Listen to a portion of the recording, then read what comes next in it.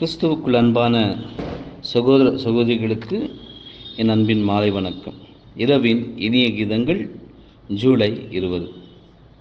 தேவ அனுகிரகம் பெற்று நான் இந்நாள் வரைக்கும் சாட்சி கூறி வருகிறேன். அப்போஸ்தலர் இருபத்தி ஆறு இருபத்தி ரெண்டு தன்னை கொலை செய்யும்படியாக ஏ- ஏற்பாடு செய்தவரிடம் இருந்து காப்பாற்றப்பட்ட பவுல் தேவ அனுகிரகத்தினால் தான் காப்பாற்றப்பட்டதை பிரசித்தப்படுத்தினார். அப்பொழுதும் பவுல் தன்னை எருசலேம் சிறை சிறைச்சாலையிலே உதவிய லீசியாவை பெருமைப்படுத்தவில்லை. தேவ அனுக்கிரகமே தம்மை பாதுகாத்து பராமரித்தது என்று சாட்சி பகர்ந்தார். கத்துடைய ஜனங்களுக்கு இது எவ்வளவு ஒரு நல்ல பாடமாக இருக்கின்றது. எவ்வளவு பேர் தாங்கள் அதிர்ஷ்டவசமாக அல்லது மனித உதவியால் தப்பி பிழைத்ததாக சாட்சி கூறுகின்றனர்.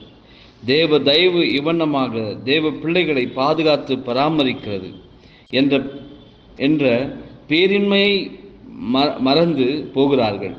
தேவன் தமக்கு பயந்தவர்களை தம்முடைய தூதர்களை கொண்டு பாதுகாத்து பராமரித்து அவருடைய சுற்றிலும் எந்த ஒரு வாதையும் தீங்கும் நே- நேரிடா வண்ணம் மீட்கும்படி கட்டளையிட்டிருக்கிறார் என்பதே. ஆமேன்.